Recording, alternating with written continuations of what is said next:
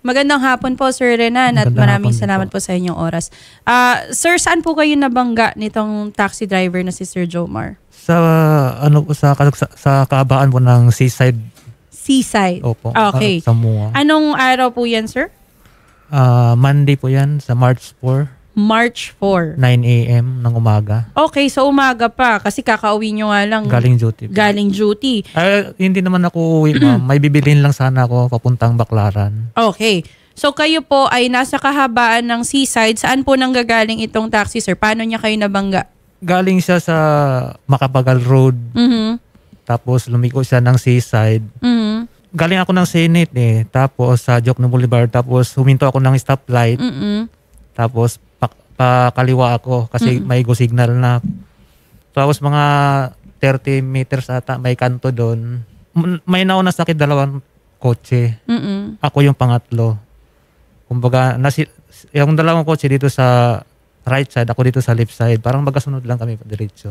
Mm. Tapos yung mga 20 meters o 30 ata, may kanto doon. Pag yung pagkalagpas ng dalawang kotse, may biglang taxi na kumaliwa agad. Okay, so saan niya kayo natamaan, sir? Sa likuran? Sa harapan? Hindi po.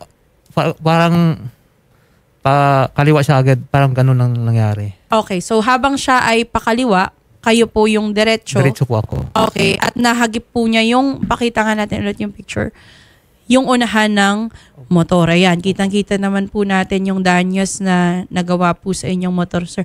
Meron din po ba kayong naranasan, sir, na ah, physical na injury po? or Minsan pag ano, yung ulo ko sumasakit yung ulo ko. Minsan lang naman. Oo. Simula nung ano, tapos ito naman yung pag huminga ko ng malalim, sumasakit dito. Medyo masakit. Pero ang inyo pong main na concern, sir, is yung inyo pong napag-usapan. Tama, may napag-usapan kayo sa police station na ano po yung napag-usapan nyo doon ni Sir Jomar? Hindi siya pumayag, ma'am eh. Kasi sabi ko sa kanya, ah, sagutin na lang niya lahat ng medical tapos yung damage na motor ko. Oo.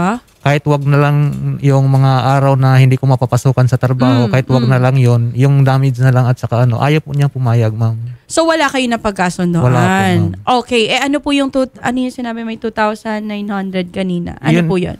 Yung sa hospital po yun, ma'am, yung ano, Ayun yung Yung- total medical bill mo, sir. opo. Okay. At kayo po ba, sir, ay nagdesisyon po ba na magpa-blotter? Naghain na po ba kayo ng reklamo? Wala po po. Wala pong kahit ano. How about police report, sir? Nung kayo po ay nagpunta sa police Naghingi station. ako ng police report kaso lang hindi naman ako nabigyan, ma'am. Dahil, Sabi kasi nung investigador namin ah, doon sa Sir Flores na kailangan daw yung yung kwenta ng damage ng motor ko para ma-file na. oh, okay.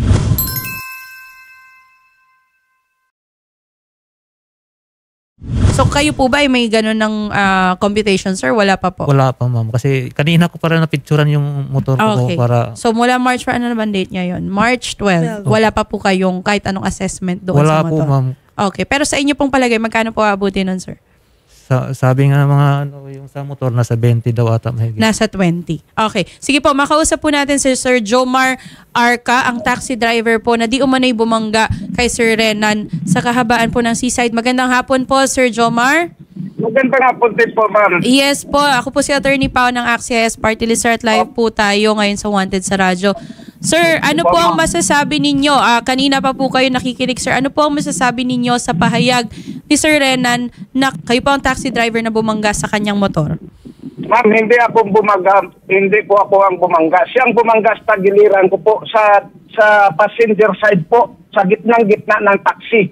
Mayroon po ako na, may picture po ako nga ma'am, nakapicture yan. Nasa gitna na ako ng, ng yellow box ma'am. Siya Mhm. walang preno, galing sa ng Jokno. Hindi siya nagpreno lang naman kahit ano. Dire-diretso siya ma'am. Ay, yellow box yan ma'am eh. Sir, Dapat pumirino po siya sa yellow box. Kasi ako, nasa, nasa gitna na po ako. okay. Sir May- Jomar, naka-go po ba yung ating traffic light nung kayo po ay umaandar? Ma'am, wala po dyan traffic light, ma'am. Ano daw? Yellow box po yan, ma'am. Yellow box. Para intersection. Oo, may traffic light po ba doon, sir? Opo, intersection po. Yellow box po yan, ma'am. Yellow Ah, box. Okay, kaya kung ba, wala ding nagta-traffic, sir. Wala po. Wala okay. po, ma'am. Siya kasi, ma'am. Mabilis. Mabilis ang takbo yan, ma'am. Pag galing ng Jokno, mabilis ang takbo niya. Ano Tapos ako, masasabi? ma'am. Kausapin mo Hindi siya. po yun mabilis, ma'am, kasi kasi nga galing po ako ng stoplight. Kumbaga aarangkada pa lang. Takbo mo, sir. Mga Ito, sir, kung hindi mo bilis ah, ang takbo mo, 10, sir, ah, 20 meters o 30 ata. Magkasunod lang kami ng kotse, dalawa magkasunod eh.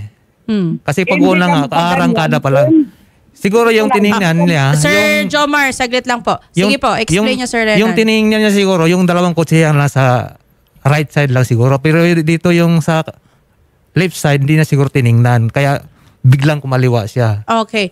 Siguro, ah, Sir Jomar, kayo po, ano po ang sa inyong palagay? Meron po ba kayong dash cam, yung nakalagay po sa sasakyan para malaman natin? Baka may footage po kayo? Ma'am eh, ang ano kasi ma'am, kitang-kita ng mga gwardiya dito sa ano ma'am, na, ang bilis ng takbo niyan ma'am. Hindi lang magkaganito ang sira ng sakyan ko ma'am. Kung 20, 20 or 30 lang ang takbo niya ma'am. Okay. Siguro ko mas maganda kausapin ko na lang yung sa police, no? Kasi mukhang magkaiba kayo ng version eh. At least yung police, sila yung nakakita ng mga sasakyan ninyo.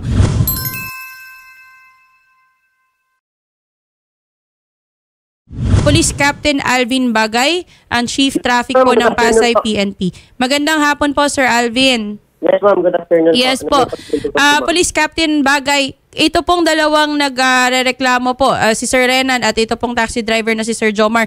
Meron po ba silang ah, police report na makukuha mula po sa Chief Traffic or sa traffic po ng ah, Pasay PNP?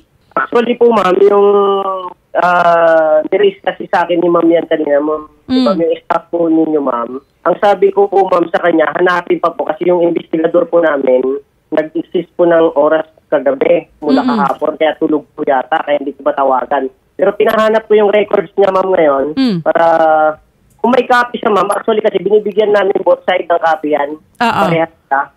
Okay. Sige, ganito Police Captain Bagay ano, da, um Huwag niyo po ibaba yung telepono. Kakausapin ko kayo sir kung paano po ang gagawin natin dyan sa police report. Dahil supposedly, tama po kayo, nabibigyan po ng police report ang ah, complainant po, pati na rin po si Sir Jomar dahil sila po yung involved dun sa aksidente. At doon po sa police report, dinodrawing din po ng police kung ano po ang posisyon ng mga sasakyan kasi yun po yung magiging basehan natin kung may karapatan pong magreklamo si Sir laban po kay Sir Jomar or the other way around. Hindi po ba? So, ganito na lang Police Captain, ah, wag niyo po ibaba yung telepono, kakausapin po namin kayo sa kabilang linya para po kunin yung detalye ng police report na yan, okay? Oo. Ah, maraming salamat po Police Captain Alvin Bagay. Salamat, salamat din po, ma'am. Maraming salamat. Salamat po. Sir Jomar Arca, sir siguro mas maganda po na magkausap kayo ni Sir Renan bago po tayo kasi mukhang hindi din po satisfied si Sir Jomar sa inirereklamo nyo at kayo din po ay hindi din satisfied.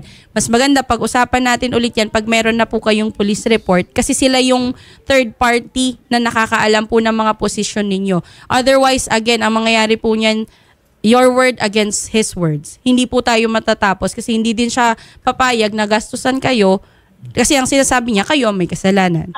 Hindi po ba? Nasa, nasa right of yun. way naman kasi ako mapadiretso. Ay, ako eh. exactly. Yun nga po. So, ang pinakamaganda niyan, sir, kunin natin yung police report para makuha natin kung saan po yung anggulo ng mga sasakyan nung panahon ng aksidente. Okay? Sige po. Maraming maraming salamat po, Sir Jomar Ortega Arca. Huwag niyo po ibaba ang telepono, sir, para po makapag-set tayo ng date kung kailan tayo pwedeng kausapin. Okay?